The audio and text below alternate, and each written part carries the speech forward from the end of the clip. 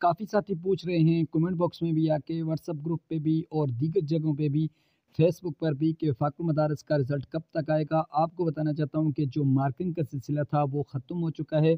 फ़ाकुल मदारस की तरफ़ जो आपके परचाजात थे, वो मार्किंग होके रवाना हो चुके हैं।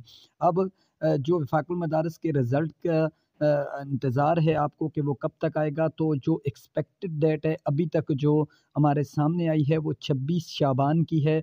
तो देखें, अगर 26 शाबान के बाद यानी कि किसी भी वक्त आपका रिज़ल्ट अनाउंस कर दिया जाएगा 26 शबान से लेकर यानी कि रमज़ान के पहले हफ़्ते के अंदर अंदर रिज़ल्ट अनाउंस हो जाएगा।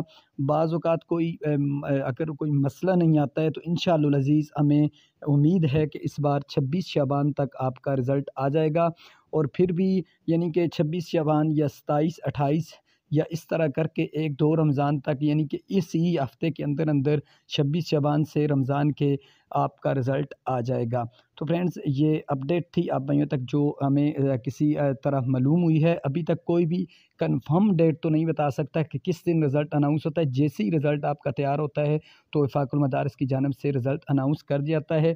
आपकी असनाद प्रिंट होती हैं और दीगर जितने भी मामला होते हैं, वो रिज़ल्ट बनाने में तो दिन लग जाते हैं। तो इस वजह से यानी कि आपका रिज़ल्ट इस तारीख़ तक आ जाएगा। इस दिन तक यानी कि छब्बीस शबान तक आप सब्र करें। इन अज़ीज़ उम्मीद है कि इस बार रिज़ल्ट आपका इसी तारीख को ही आएगा। तो वीडियो अच्छी लगे, चैनल को सब्सक्राइब करके वीडियो को लाइक कर दें। कोई भी अपडेट आती है अभी तक